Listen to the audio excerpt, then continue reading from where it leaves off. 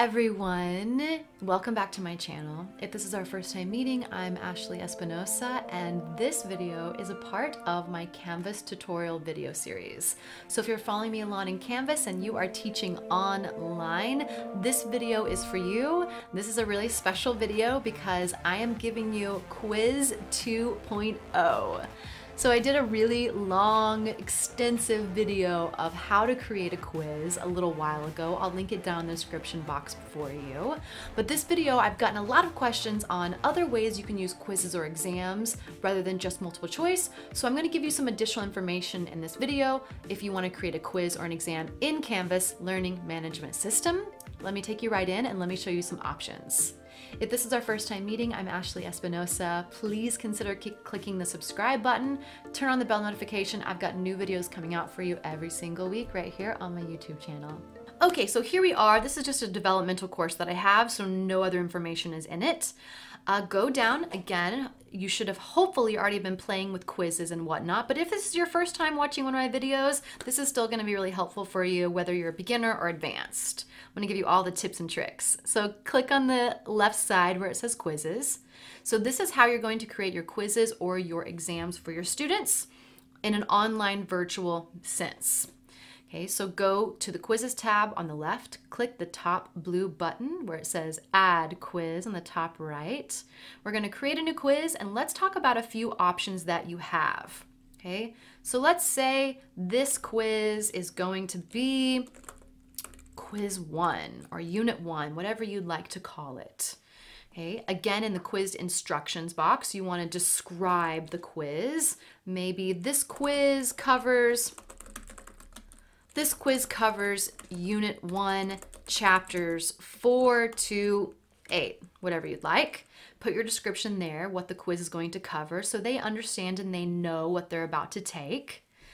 And then you also, again, have other options that you can put in the description box up here, bullet points, numbers at the top, can left justify it, you can center it, you can put images in here, anything you'd like. I've got a whole playlist of Canvas tutorials that I'll link in the bottom description box as well for you if you wanna catch up if this is our first time meeting. Okay, so the next thing you wanna do again, go down here to graded quiz. You have options. It could be a practice quiz, a graded quiz, a graded survey, or an ungraded survey. And I'll show you some other ways you can use this in videos coming up in the future. So let's again do a graded quiz. So click graded quiz. You can again choose where you want to do this. This most of the time is going to go into the assignments tab or the quizzes tab but here's group options for you. Now I always click on shuffle answers. That way if the students are sitting side by side or they're on the phone or whatnot, makes it a little more challenging for them. So I click shuffle answers. I always do a time limit, again, depending on the what grade you're teaching, if it's K through 12 or college, but especially for teaching college level, you definitely wanna put a time limit on there. Otherwise they can ruffle around their notes or whatnot and see everything. But again, it's totally up to you, whatever you need. I like to do um, 30 seconds per question. Now again, that's just me and my students and how I do it. If these questions though are going to be more than just multiple choice, you may wanna have to play with the time. Think about the quizzes or exams that you often do in your class face-to-face. If you have a quiz or exam that you give normally and you give them the whole class, which is let's say a 90 minute class, then maybe you want to give them 90 minutes for it. Just keep in mind that they're going to be doing this at home or wherever they're taking it on their own time on their computer, their iPad, their tablet, or their phone, and they're going to have access to everything. So you kind of have to play with it again, just depending on what you what your needs are in your class. So here you are, you do the time limit. You could allow multiple attempts, keep the highest score. I went over this in the other video, so check that out below if you want to take a look at it again. Um, I covered all of this again, so you can pick what you'd like uh, show one question at a time or all, whatever you'd like to. Again, all of this is in the first video that I created for you. But let's go ahead now and I wanna show you under the questions section some options that you have. Now, Canvas is really great, but does have limitations. So let's say, let's do a new question. Up here on the top right, you have a couple of options. I did last time in the video, we talked about multiple choice, true and false. Pretty simple, pretty basic. That's how most of my quizzes go. But we're in a different world now where we're having to do all of our classes online. So here's a couple of options. Let's say you're teaching K through 12 and you have younger younger folks that are taking your tests and you want to do fill in the blank. For example, example, maybe the question is, maybe your question is, what animal climbs trees and eat, eats acorns? It's a simple question. okay, so maybe you want to give them a, a their answer is a squirrel, or you want them to answer, you know, rabbit or a dog. And it's a very simple question, but you want them to fill in the blank.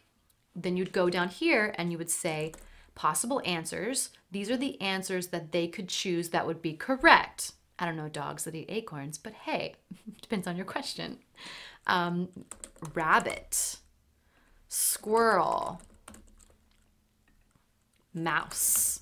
Now, whatever you put in these boxes are going to be answers that are correct. So let's say the only correct answer is going to be a squirrel. So I'm going to take out that. It will pop up a box and they will have to type in their answer. So squirrel. You may want to spell the word incorrectly so that if they spell it incorrectly, it will still tick it yes, because again, this is all automatic grading. Okay, so whatever you tick that's correct, it's going to put it in that box. Okay, update question. Okay, now what, here's the question that you just entered. What animal climbs trees?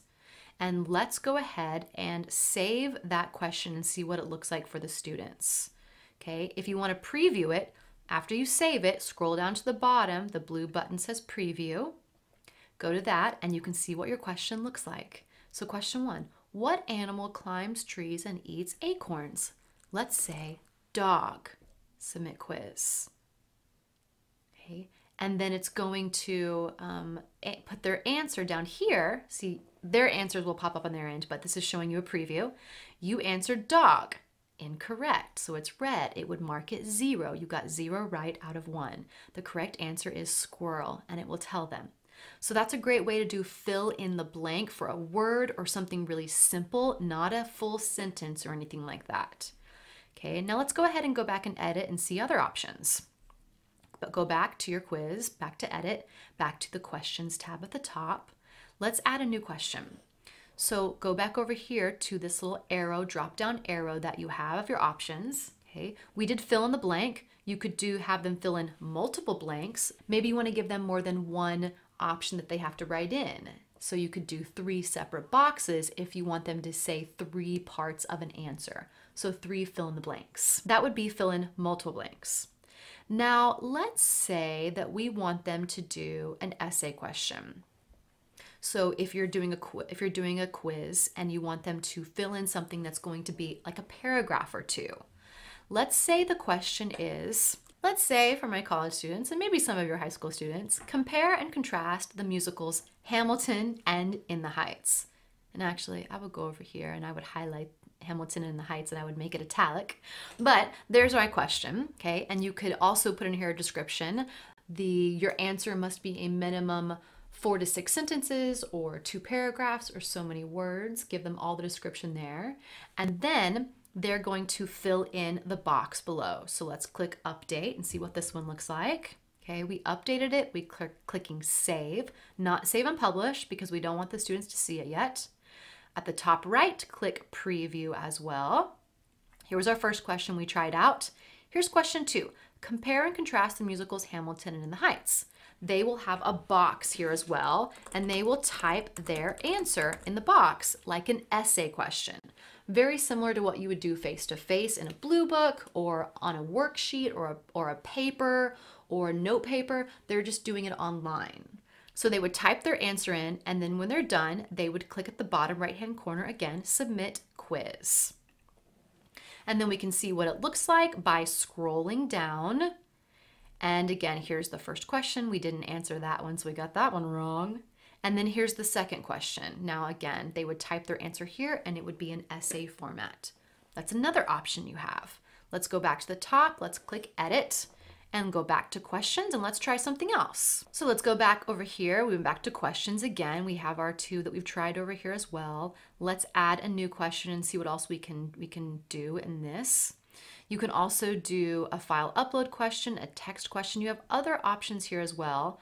But another one you can do is matching. I think this is great for especially K through 12, but a lot of other ones as well. So let's say again, you'd put your describe the question here or what you want them to do. And let's say, for example, in my classes, which are musical theater and theater based, perhaps I want them to match the artist with the musical or the play. So let's say matching left side over here on the left. Let's say the um, I want them to match Richard Rodgers and Oscar Hammerstein. Okay, so those are the artists, Richard Rodgers and Oscar Hammerstein. And on the right side, I want them to match it to the musical Oklahoma. Okay, another one's going to be Jeanine Tesori, and I want them to match that with the musical Shrek. Okay, let's say another person is going to be, let's say another artist is Eubie Blake, and then I want them to match that to the musical Shuffle Along. So there's three examples. Okay, so however you want them to match them, put them side by side. Let's go ahead and you can fill in more. You can add another answer and continue on this list. Okay, let's go ahead and update that question. You can do additional um, possibilities as well, but let's keep it simple first. Let's click Update Question. Let's click Save, and then let's see what this one looks like.